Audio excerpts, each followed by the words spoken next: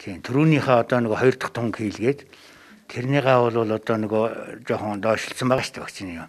Одоо тэрнийх нь бол нөгөө төрөний хийлгсэн вакцина бол юу гэдгийг тийм илүү одоо сэргийлж сайн болгож гин гэж би бодож байна. Одоо Pfizer вакцины 3 дахь хийлгэж гэж байна. Тийм түрүү нь бол Кятын вирусвал вакцины хийлгсэн. Хоёр. Одоо болондоо бол ямар нэгэн юу ковид мавид өрөвжилсэн шин тэмдэг бол илрээгүй байна. Тэгжгүй сайн л байна одоо. Тий. Залуучууд бол энэ вакцинд идэвхтэй хамрагдаж ялангуяа одоо настай өвөө эмээгээ хамгаалж энэ ковидын арга хэмжээнд идэвхтэй оролцоорой л гэж уриалж байна хан бол. Ер нь энэ 3 дугаар тунд хандах нь ер нь зүйтэй байх, зөв байх л гэж бодож байна. Тийм учраас иргэнийхээ хувьд одоо ирж хийлгэж байна.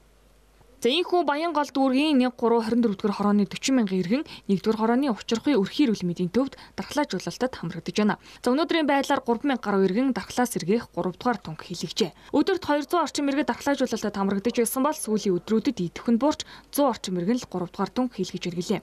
За иргэд Pfizer болон Verocell вакцинаас сонголтоо хийж нэмэлт тунгаа хийлгэж байгаа. Verocell хийлгэсний дараа хариу урвал бага илэрч байгаа бол Pfizer вакцин хийлгэсний дараа халуурах, толгой өвдөх, бие арзаах зэрэг хариу урвал илэрч байгаа байгаа. За энэ нь дархлаа тогтох үйл явц өгөөд хүний биед гаж нөлөө үзүүлэх гэдгийг эмч хэлж байна. За харин одоогоор 3 дугаар тунд 12-оос 17 насны хүүхдүүдийг хамруулахгүй байна.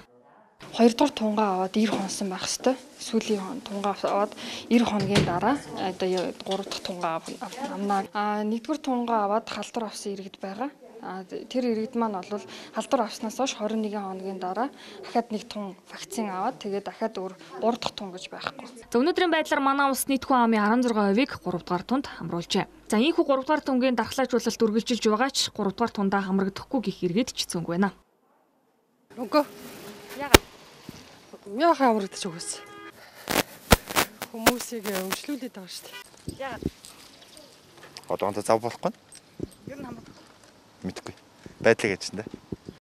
За гэтээ судалгаагаар дархлаа сэргийх 3 дугаарт нь хамрагдсан иргэдийн 0.1% нь халдвар авчээ. Зовх судалгааг олон улсын тооцоо судалгаа болон халдвар төвчийн судлалын үндэсний төвийн лабораторид хийсэн шинжилгээнд үндэслэн хийжээ. За тэгвэл дархлаа сэргийх 3 дугаар тун нь хүний биед гаж нөлөө үзүүлэх үү? Тэгэхээр бустер тун бол үрдүү өгч байна. Дельта хувилбарын одоо ийм өндөр дархлалтын үед ийм өндөр халдвартай энэ одоо вирусын одоо давлгааны үед үр дүгч нэ гэж үзэж болно. Саяын датанаас. Хятадын э, Хятадын Sinopharm компани одоо Virocell энэ вакцин бол сулруулсан вируснаас гаргаж авсан. За э, Pfizer вакцин бол мессенжер RNA буюу одоо вирусын сэртэнгийн уургаас гаргаж авсан ийм одоо э, өөр технологи гаргаж авсан ийм вакцинууд байгаа.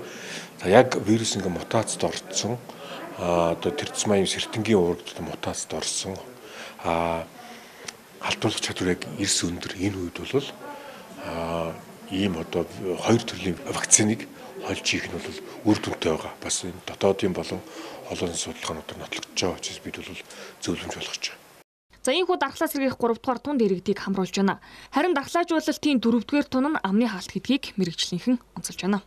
Амны хаалтыг одоо гэрээсээ өөр орчинд авахгүй байгааг уриалж байна. Учир нь бол амны хаалтаа аваад хүмүүстэй уулзах, хоолнд орох ийм байдлаар халдварах үйлсэл маш өндөр байна.